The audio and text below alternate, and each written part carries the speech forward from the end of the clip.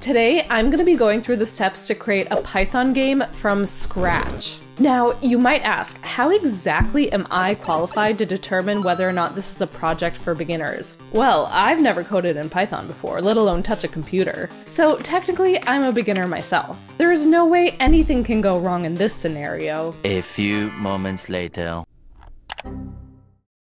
Are you kidding me?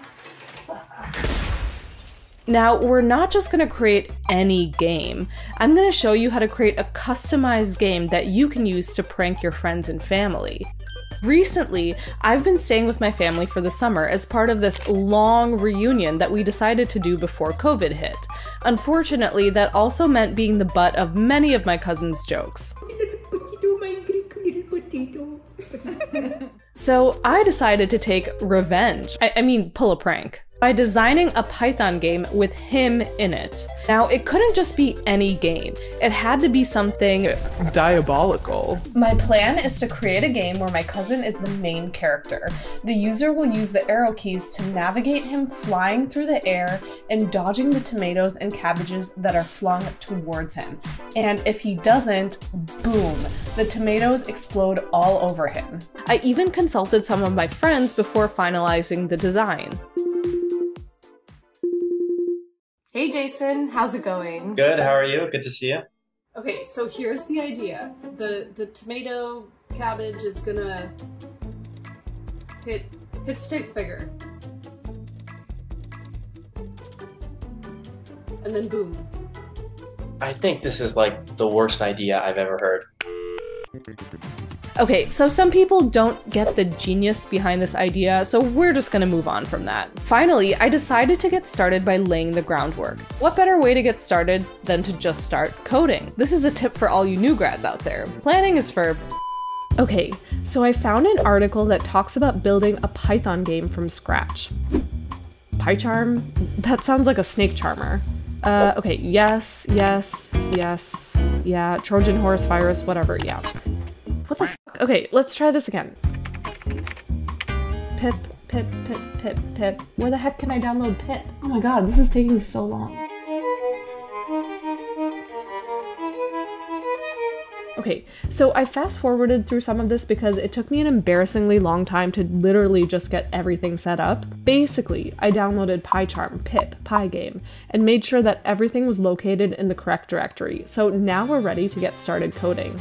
Let's set up the basic framework first, making a circle. I just set this up using coordinates, here and here. There are a lot of layers of abstraction being used, which is what makes Pygame so cool. The idea behind the circle is that it will eventually represent represent our character, aka my cousin. So we've created a circle object that will be within the character grouping, which is shown right here, right there. We also need to be able to move the circle based on the user input. Lucky for me, I don't even really need to know Python for this to work, so good thing I'm a coder. Moving an object, hmm, okay, so it looks like I can use Pygame's keyboard shortcuts to make an object move based on the user pressing the arrows up and down, input output. Now, this is cool and all, but we want to have random objects flying in the air and we want them to hit our character.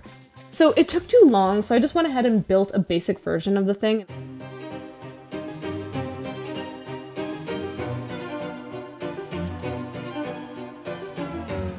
Good thing I'm a coder. Here's the enemy object and the player object. The basic actions have been built in, and then we have this loop. This is where the actual gameplay happens. So we end the game if the player quits or if they get hit by an enemy object. So you can see here that the character and enemy objects are in the gameplay, and as soon as it hits your character, it'll stop. Well, it'll explode and then it'll stop. The original article provided PNG images.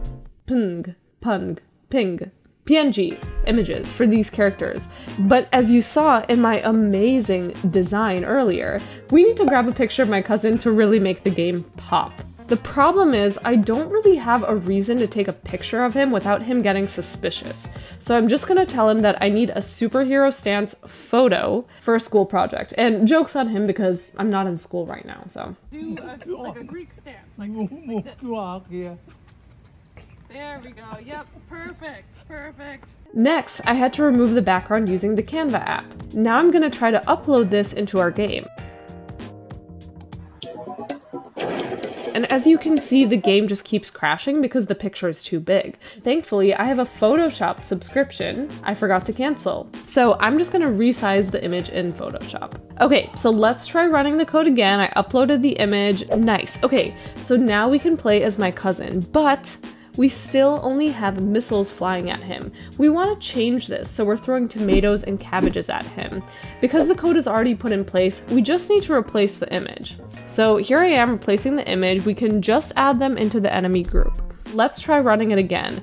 It looks like it only loads the cabbage, so we'll need to create a whole new enemy. Okay, so pause for a second here. Clearly, we should be making an interface called enemy and then we'll have two objects, our cabbage and tomato object, that implement this interface. Or we could even do something like have a generic enemy object and then have a parameter in the constructor where it takes in an image, and we'll have our tomato image and our cabbage image.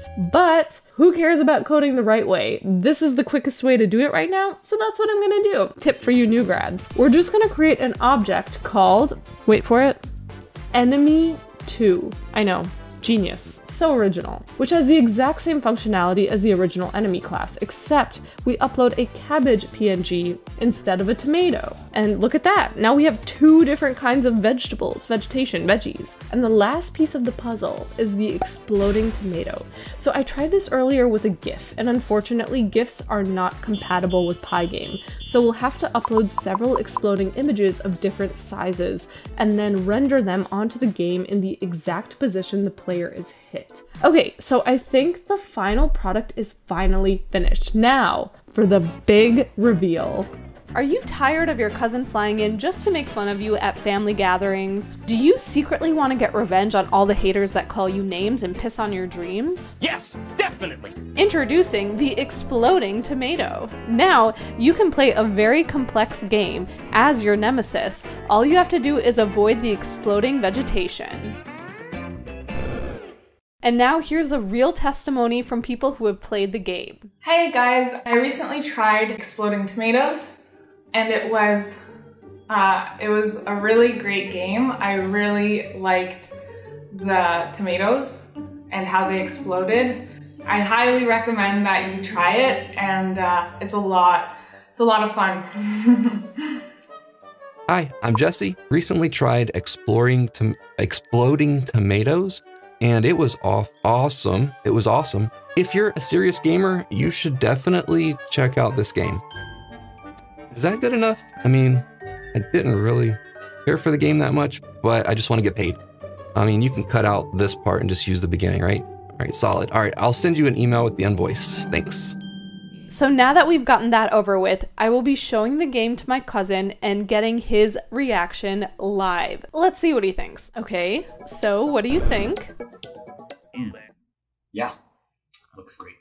Do you feel scared, excited, nervous, angry, annoyed? I guess. Okay, so obviously he loved it. We just have to take a couple of his reviews off because the manager saw some of his reviews on Yelp and decided that it wasn't really going to fit in the direction that we were moving forward with the app. So, any publicity is good publicity, am I right?